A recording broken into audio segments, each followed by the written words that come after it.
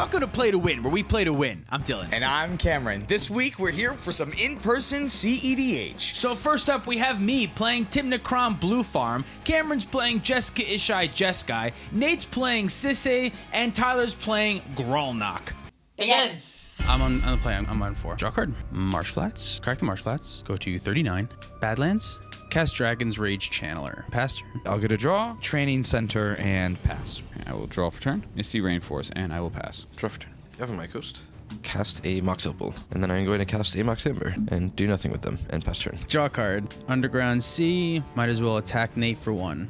Pass turn. I'll draw, play a Tarnished Citadel, and cast my own Dragon's Rage Channeler, and then pass. I want one. You're playing the wrong deck, man, if you want one. Crack my Misty Rainforest.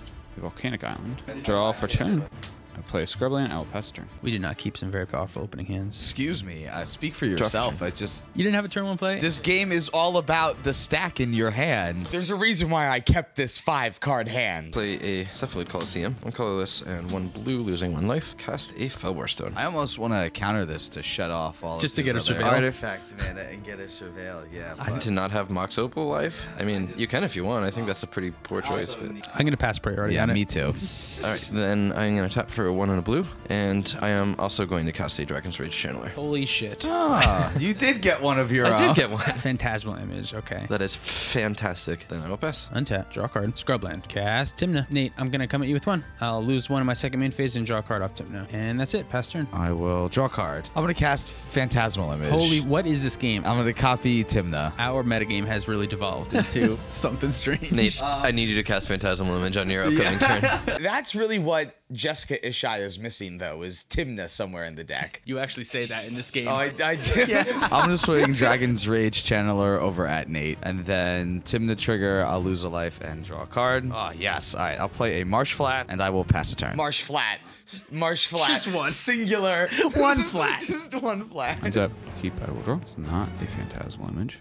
I play Exotic Orchard for my land for turn. Cast a Rhystic Study. I'm going to Fierce Guardianship, Rhystic Study. Dragon's Rage Channeler, Surveil. I'm going to put Pact of Negation into the graveyard. I tried. Is it my turn? Yeah. Untap. Why do I have my artifacts lined up here? That's weird. Draw for turn. Uh, okay. I'm gonna play a Cavern of Souls and name Frog. Cast an uncounterable frog, losing one life from Cephalid Coliseum.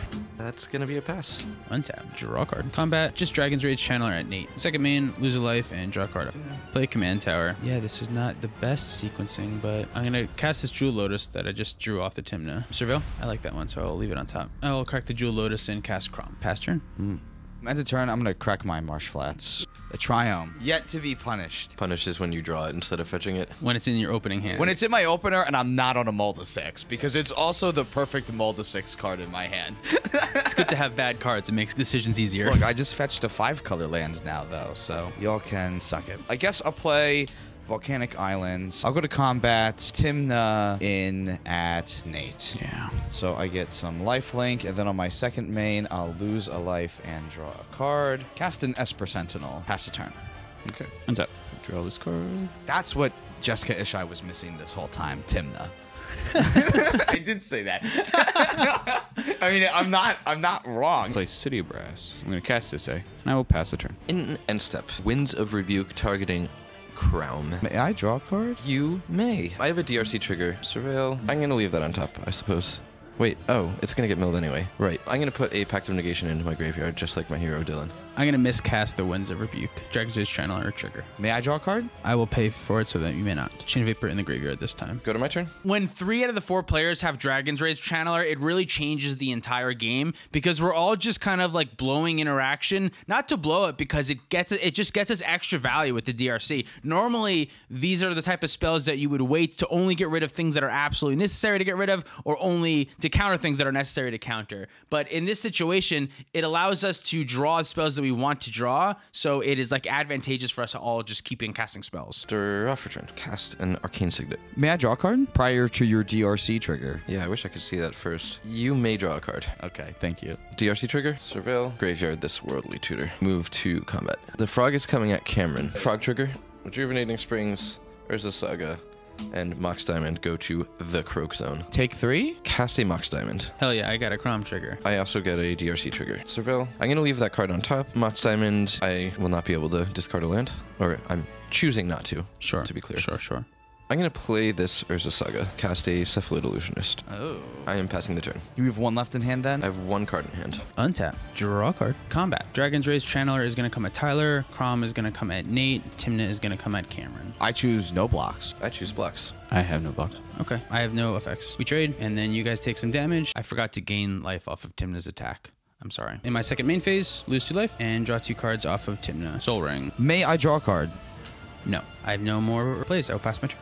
I'm gonna cast a snap targeting your Kraum. Get a DRC trigger. What, is there a reason you didn't do that during combat when he was drawing a card off that Yeah, card? because I don't care about that card, and it'll be fine. It'll be fine. Okay. Sure you don't want to bounce this Sisay, the combo piece, or this one, the combo piece. You want to bounce my card advantage? I have one card in hand and I'm plainly Yeah, he on has frog one value card in mode, hand. so I'm not the right target. Maybe Sis- Nate. Sisay was a blocker Maybe right Nate now. just goes off. Sisay, you know, you know what? Dylan's just bullying. Let's you. hit. No, yeah, but it's gonna work though. I'm gonna hit Sisay. Unbelievable. But I get a DRC trigger here. I'm gonna put Dispel in my graveyard. All right, we'll go to my turn. Draw. Let's go to combat. Dylan, I'm gonna hit you with a Tymna, and Nate, I'm gonna hit you with a Dragon's Rage Channeler. I'll gain two, but then I'll go back down to 34 after I draw two more cards. Then cast a Mana Crypt. I'm going to Gitaxian Probe Dylan. I'll pay two life for it. Maybe you should make a case for him targeting me with one card in hand. Kraum.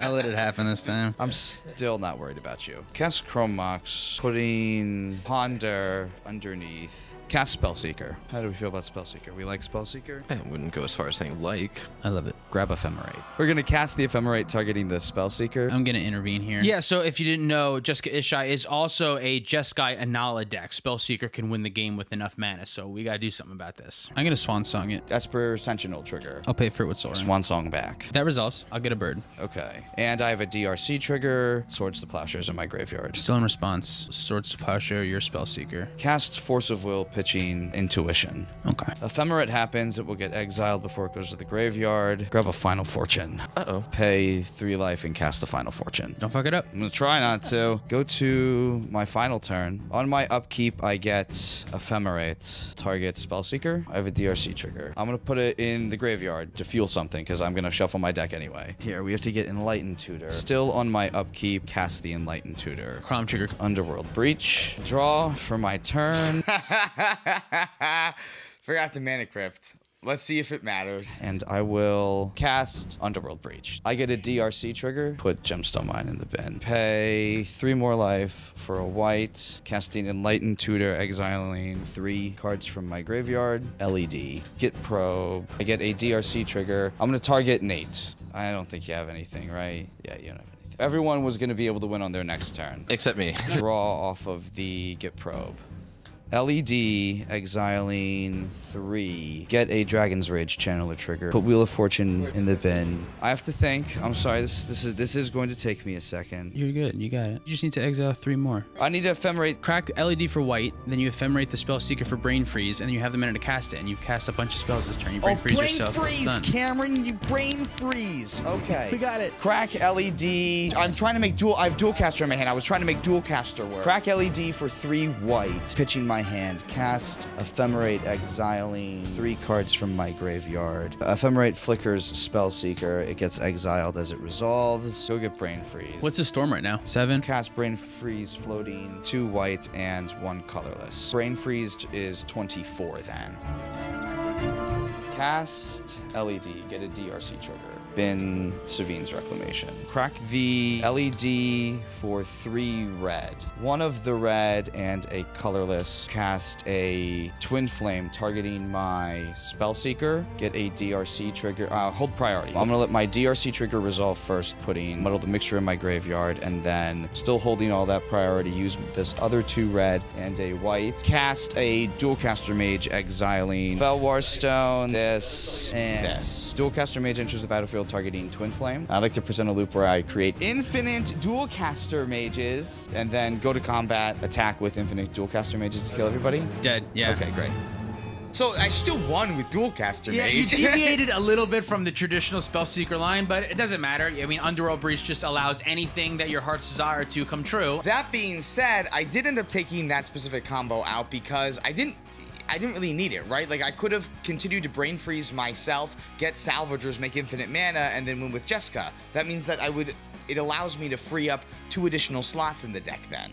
Yeah, and even if you don't want to win with Jeska, you can always just brain freeze out your opponent. Storm will be high enough. You can mill everyone out and then just pass the turn too. So there's Right, a, that's still a a- plethora of different ways to win without those two cards. Exactly. Thank you so much for watching. If you'd like to support us directly, you can do so at Patreon like our $50 patrons. Dylan Jasperson, Derek Vent, Byron Wang, C, Hwaji Ahmed, Anime Titties, Jacob Depp, Reese Uker, Unforeseen God, Kai Hornisher, CZ, Michael Blue, Jan Wildfang, Adrian Grimm, Sleepy Jarvis, Swampy McGee, Peter Larson, Cameron James, Jormax, Ugly, and Moxfield, and Baby Jeebus. Thanks, y'all. Check out our Bonfire store for our t-shirts, sweatshirts, and all of our other merch too. If you want to check out any of the cards that you saw today, you can do so at our TCG Player affiliate link down below. Check out the Alter Sleeves affiliate link for 5% off your order. Pick up some Dragon Shield product at our Dragon Shield affiliate to help support the channel. And PlayToWinMTG.com has our playmats and coins in stock, so check that out too. Thanks for watching. See you next time.